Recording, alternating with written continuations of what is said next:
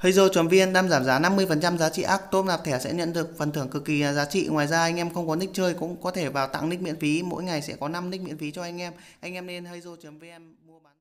Anh em có nhu cầu muốn nick học dòng online thì hãy nên shop nick nào 1 tỷ.com nhá. Shop mới khai trương nên giảm giá cực kỳ là kịch liệt luôn nên đến 40% giá trị shop khi nạp bằng ví. Anh em cũng có thể có mặt trong top nạp thẻ và những cái mục giam giom cực kỳ là giá trị. Anh em săn nick 60 tỷ, 40 tỷ hoặc là những nick với giá là một đồng thôi. Top nạp thẻ sẽ trao thưởng vào. Hello anh em nhé, chào mừng anh em đến với channel mình, mình là Nick Đàm 1 tỷ đây. Thì hôm nay uh, hơi trải lòng một chút thì mình sẽ trả lời câu hỏi của bạn ờ, Tiến Thành. Tiến Thanh gì đó. Là anh bắt đầu kinh doanh game, anh đầu tư bao nhiêu vốn vậy? Tức là đầu tư bao nhiêu tiền anh em ạ? Thì mình cũng trả lời luôn, tại sao cái kênh này của mình ấy. Anh em xem nó không có nhiều tính giải trí giống như kiểu những kênh khác. Kênh này của mình thì đa số nó là kiếm vàng, kiếm ngọc ấy. Nói chung đa số là kiếm tiền những cái kênh khác vào thì xem chỉ để giải trí thôi. Xem để, gọi là, nói chung là vui, cười. Kênh của mình thì chẳng mấy khi là cười cả. Nói chung kênh mình là kênh kinh doanh. Anh em ờ, để kiếm vàng, kiếm ngọc các kiểu, kiếm, nói chung kiếm tiền từ game ở cái tuổi học sinh, tuổi học trò ấy, thì anh em nên xem. Và nó cũng không được nhiều đâu. Nó được nhiều khi mà anh em vốn quá nhiều. Còn nếu mà bình thường ra thì nó chỉ được một triệu một tháng đối với cả anh em thì nó ok. Còn nếu mà vốn mà anh em mà dám bỏ ra cả trăm triệu giống như kiểu mình thì nó nói chung là nó cũng hơn được phụ hồ một chút đấy. Thì mấy cả anh em cũng cần phải có một gọi là có kinh nghiệm nữa. Mình thì mình kinh doanh game này lâu rồi nên là mình cũng biết nhiều thứ. Mình uh, có nhiều mối quan hệ. Anh em cứ vào facebook của mình ấy đến uh, mình đăng tốt đến view 6 sao tức là anh ngô nhân ấy vẫn comment tốt của mình suốt.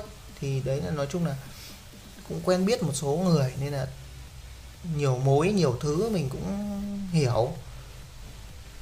Nhưng mà anh em nếu mà nghĩ là mình có nhiều tiền thì mình mới uh, kinh doanh được thì nói chung là sai. Anh em cứ làm đi. Ví dụ đợt trước ấy mình khởi đầu của mình là đi cái ờ, uh, nguyên danh trại này này. Tại sao mình không bỏ nó? Bởi vì khởi đầu của mình là đi cái này. Từ cái hồi mình có độ khoảng một triệu thôi, mình đi phục vụ bàn được một triệu một tháng. Nhưng mà mình ờ, làm được tầm khoảng hơn tháng chút thì mình có một chút xích mích với cả mấy cái nhân viên làm trong đấy. Mình làm thì ờ, được ừ, mình làm có thể là cũng bình thường thôi, nhưng mà kiểu những cái người ờ, người ta ăn ấy, người ta thấy người nhà quê người ta quý, chả biết người ta quý cái gì thì mình nhặt được cái ví của người ta thì mình trả lại người ta thì người ta bo cho mình 100 nghìn. Nên là bọn tức là người ta chuyển cái bàn từ bàn dưới lên bàn trên tầng ấy nhưng mà người ta quên để cái ví với cả cái mũ thì mình mang lên cho người ta thì người ta sướng chắc là người ta thích. Thì người nhà quê người ta bo cho 100 nghìn. Thế mình lại không biết là nếu mà ở đấy bo tiền thì phải đóng vào sung kiểu sung vào công quỹ ấy. Thì là mình lấy hết. Thì là mấy thằng nào nó cũng cay. Còn thằng chủ thì đương nhiên nó phải quý rồi bởi vì khách hàng quý thì thằng chủ nó phải quý đúng không? Thế là chắc là chúng nó cũng cay. Thế, thế là cũng có nhiều nhiều thứ nó cũng không hòa đồng nên mình cũng không thích làm kiểu thế. Thì bắt đầu mình về mình kinh, kinh doanh game. Thực ra mình cũng kinh doanh từ năm 2015 rồi cũng được 5 năm rồi. Nhưng mà dần dần thì mình cũng nghỉ một thời gian để mà ôn thi đại học ấy. Thế nên là sau khi mình đỗ đại học thì mình lại quay lại. Cái quay lại vốn mình thì chỉ đấy mình đi phục vụ bàn thì vốn mình chỉ có một triệu thôi. Và mình cũng chỉ mong mình kiếm được độ khoảng 500 nghìn một tháng này mình cũng chẳng mong hơn nhiều cái điều ước thì nó hơi đơn giản một chút. Nhiều người thì người ta bảo là không không không không có gọi là không có gọi là ước mơ ấy. Kiểu đấy nhưng mà kệ người ta thì làm thế nào mình cứ làm theo cái gì mình thích và nó không vi phạm luật được. Kệ người ta. Thế mình cũng làm được ý thì mình mua độ khoảng hình như 60 nghìn một uh, ví. Đây mình dùng ATM mà học đại học mà có ATM nên mình mua 60 nghìn ví một cái con uh, Win xây ra thì Win xây ra nhá. Mình về mình đi mình mua được khoảng mười mấy con đấy ngày nào mình đi mười mấy con luôn. Mấy con được khoảng hơn nghìn thôi. Một ngày thì mình tính ra mình chỉ làm được khoảng độ khoảng hai ba mươi nghìn hai ba mươi nghìn bán. Thế là mình được vị bộ một S bộ một S thì cái thời gian rảnh mình chẳng làm cái gì cả thì mình bán bộ một S ra vàng. Thế mình nhiều vàng quá. Đợt đi có vài tỷ là mình cảm thấy là mình khá nhiều vàng. Thế mình có nhiều vàng quá thì mình, mình cũng đăng tốt mình bán thì mình cũng uh, gọi là thế là cũng nhiều cái mối quen, nhiều mối quen rồi về sau họ quen mình, họ mua của mình rồi mình nập group rồi nập kênh youtube rồi nập shop rồi nói chung đại loại là có ngày hôm nay, đến ngày hôm nay ấy. Thì đấy, anh em cứ khởi đầu từ những cái mà nó đơn giản nhất. Hoặc là nếu mà anh em à bạn ấy có hỏi thêm một câu nữa là năm sau là em học đại học rồi thì không biết là em có nên học đại học hay là em nên đi làm ấy. Thì đây là đây là cái, gọi là cái suy nghĩ của mình thôi, cũng không áp đặt lên ai cả thì theo mình nghĩ nhé bạn có học tốt hay là bạn học giỏi ấy, thì bạn vẫn nên học đại học. Bạn cứ học đại học đi. Có hồi cấp 3 ấy mình học không phải là giỏi. Hồi cấp 3 mình học nói thật ra mình học còn là rốt. Nếu mà tính đến đời cấp 3 mình chơi bời mình đánh điện tử mình có chịu học đâu mình học rốt. Nhưng nên đại học nhé bây giờ mình đến năm thứ ba rồi mà bất cứ một cái kỳ nào mình cũng suýt soát học bổng luôn. Mình không phải là thằng giỏi nhất lớp nhưng mà nếu mà so với ở con trai ấy, thì ở trong lớp mình cũng đứng thứ ba, thứ tư, thứ hai, thứ ba ấy. Có kỳ thua một hai thằng con trai rồi nếu mà tính về điểm số ấy. còn con gái thì nó con trâu lắm, chịu. Đấy, mà mình vẫn kinh doanh game bình thường. Thì đấy, nhưng mà được cấp ba mình học rất tốt nên đại học thì mình cũng không học giỏi, nhưng mà cũng tuần tháng, gọi là kỳ nào cũng suýt soát học bổng. Và đến bây giờ là năm thứ ba rồi. Vẫn duy trì cái cái điều đó. Thì nên học phải học có thể là cái lúc mà bạn ra ở cấp 2, cấp 3 ấy thấy đại học ôi trời đại học mai sau ra nó cũng cũng cũng làm công nhân. Ừ cũng có thể mai sau ra cũng làm công nhân thật. Nhưng mà cái thằng đại học đi làm công nhân ấy thì có thể là sẽ nên quản lý nhiều hơn là những cái người kia. Những người kia họ có khả năng họ vẫn nên bình thường nhá. Có khi họ còn nên cả giám đốc luôn cũng được ấy. Họ còn mở doanh nghiệp riêng ấy. À quên mất lại bật bật kia năng lượng. Thôi được. Đợi tí cũng được thế thì anh em vẫn nên học đại học anh em nhé. Học đại học, cao đẳng cũng được. Nói chung là cứ có học vẫn hơn, lúc nào trong đầu mình có suy nghĩ có học vẫn hơn. Mai sau con cháu mình thì mình cũng cho học đại học hết, kể cả không học được hay không học được. Không học được thì thôi về. Nhưng mà anh em đã lên đại học rồi thì anh em phải cố gắng để mà học được. Thông thường là như thế, không có ai là bỏ ít lắm. Trường hợp ý nó ít lắm, trừ những cái thằng chơi bời.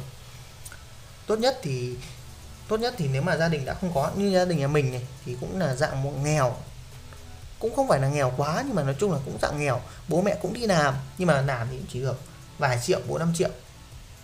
Năm, sáu triệu tháng, làm nhà nước mà làm sao được nhiều tiền. Đấy, thì cũng cũng nói chung cũng nghèo. Anh cũng đi làm thôi. Anh cũng học đại học xong ra, cũng đi làm, cũng làm doanh nghiệp, cũng làm văn phòng.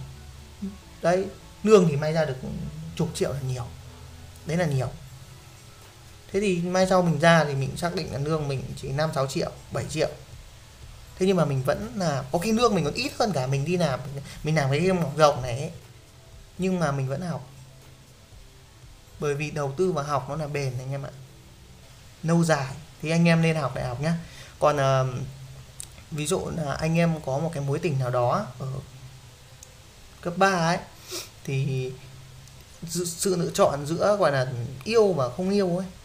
Thì theo mình nghĩ nếu mà anh em mà gia đình mà có mà yêu cái con ý nó nó gọi là cảm nhận được là nó tốt nó không tốn kém cho mấy nó không đòi hỏi nhiều ấy thì ừ thì yêu cũng được. Nhưng mà làm cái việc gì ấy thì nó cũng chú trọng vào một cái thì nó vẫn hơn. Thì tốt nhất là nếu mà là bản thân mình ấy, thì mình không có yêu đương gì hết. Hai ví dụ 18 tuổi 16 tuổi đi 16 tuổi thì ừ thì tuổi chơi tuổi bời thì dưới 18 thì mình không không nhắc đến ở được viên 4 sao này. Còn ờ, trên 18 tuổi được khoảng 20 tuổi đi.